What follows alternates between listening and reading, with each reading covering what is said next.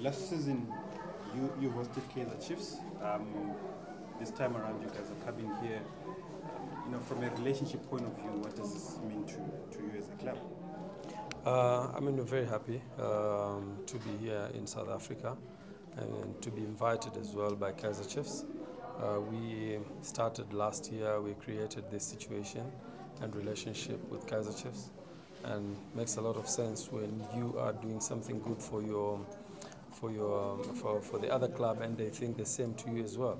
So coming coming to South Africa this time around uh, to play the Chiefs in, uh, in, in, in South Africa makes a lot of sense for us and, and creates a better relationship with African clubs across the continent.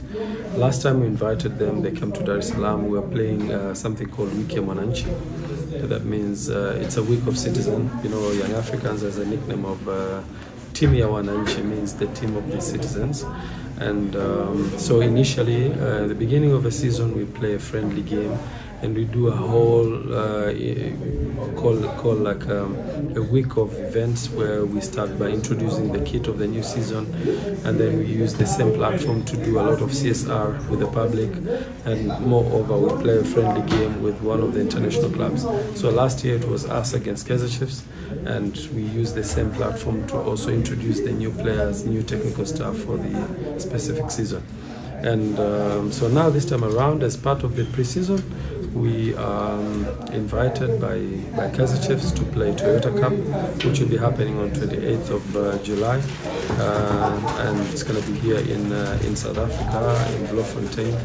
And we are very happy to be part of the Toyota tournament. Will you be playing any other games in South Africa besides this one? Yes, we do, but uh, we will come back and introduce the same fixture.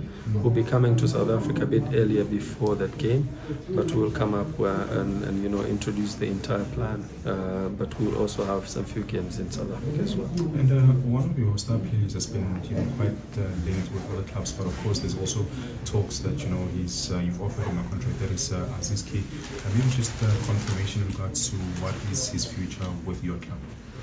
Uh, it's very tough for, for, for us, especially losing a player like Aziz Ki, but I'm not saying that we're going to lose him. There's a lot of interest coming from um, a number of clubs, including some of the clubs in, in South Africa. But the Young Africans has, has a very um, strong connection with the player, and also we've, we've done our our homework as leader, uh, as leaders of the club, to make sure that the, the player stays in the club and uh, the discussion is going very well. We will definitely come back and, and, and do the introduction when we finalize the thing. But as of now, nothing has been finalized, even though there's a lot of other clubs uh, interested with the player and they've sent. Um, so the discussion is there. I can say um, there's a big chance for him to stay, but but we haven't finalized yet. Does he want to stay? Is he tempted by some of these offers? Yeah, he has been. He has been in a position of uh, um, trying to to you know uh, put his position clearly that he wants to stay. And you know, I signed him two years ago from ASEC Mimosas, and I told him about my project. We want to take this team to the next level with him as well, and he was the key member of uh, of, of the program and and the plan that I was putting in place. So our discussion was the same, and he was very keen to say that I need to be here in Young Africans, at least take this team to to the project uh, levels that we wanted to.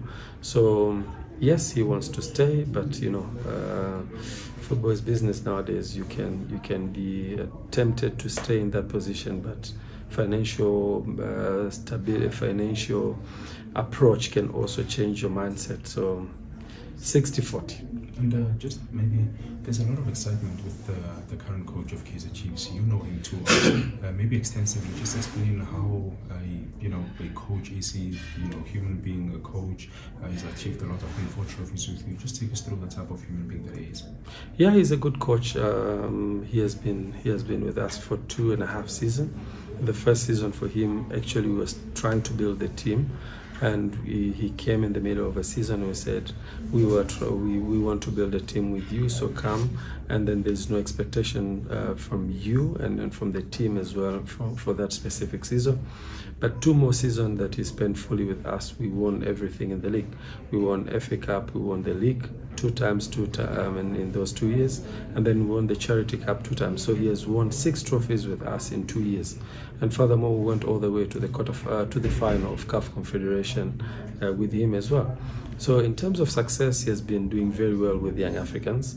Unfortunately, this season when he went to FAR Rabat, uh, uh, nothing has been working perfectly in terms of winning the trophies. But he's a good coach, and uh, uh, take this opportunity to wish him all the best. And uh, another player who has also been linked with an exit, uh, Skudu. What has been the discussions uh, around Skudu as well? Uh, so Skudu, we um, we are, he's still uh, he's, he's part of the family, and he's also looking for other opportunities for next season, which will be start very soon. So, as of now, uh, nothing has been concluded, but we will come back and inform the public. Mr. President, um, you're one of the leaders in African football. There's an issue regarding AFL, the, the scheduling. I mean, you, you sit in the, in the, in the CAF uh, committees and stuff. What is the latest situation regarding AFL? Is it coming back or what is the scheduling? Where, where are we with that? Um, so far, nothing has been uh, concluded at the CAF level, uh, as, my, as per my understanding, based on the few meetings that we had recently. So there's no any strong position regarding AFL. There's no any strong position regarding CAF Confederation. I think we all understand that there was rumors that the CAF Confederation will be uh, will be cancelled the tournament and then have uh, Champions League and AFL, but nothing has been um, informed uh, specifically based on those. So I, I, cannot be in a position of um, speaking out on the same. So I don't know about AFL, I don't know about CAF Champions League or CAF Confederation, which which one will be cancelled and you know maintain the two. For me, I mean those those tournaments are very key for us. I mean most of the clubs in Africa they are also expecting to participate in continental tournaments, regardless of the name, whether it's this uh, confederation or what. But the thing is, we should be looking into the very positive um, uh, approach of this tournament in in a, in a fact of um, having specific number of games in the continental level, but number two, the sponsorship as well, because it's these tournaments involve a lot of money. I mean, traveling across the continent, it's too expensive. Some of the areas, some of the countries, when you want to travel to those countries, you have to go to either Middle East and come back to Africa, or you go to Europe via Turkey, Turkish airline, and, and come back to Africa. So it's very expensive. For me, a key is yes, we want to participate in the tournament, but number two, it should be very clear that the, these clubs are also getting something out of the tournament so that they can be able to sustain the travels and other uh, other costs. Uh, Mr. President, last time we spoke to you, we spoke.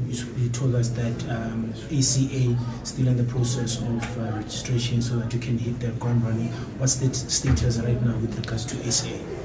Uh, registration of ACA has been done, but uh, we haven't finalized um, the specific headquarters. So now we have a I would say virtual headquarters, um, which will be operating uh, here in South Africa uh, with a small office that runs all the operation of ACA. A strong, um, strong. Um, uh, how can I say, a strong host came came forward now. We have Kenya, we have uh, Morocco, we have Algeria, we have Ivory Coast, and, and, and, and, Rwanda. Those those countries are very strong. They want to bring this ACA, the formal office in their countries. So we will have a very a very um, we'll have a meeting actually tomorrow that finalize uh, which country are we going for. But in the meantime, we have a virtual office which is present in South Africa. Thank you so much, President.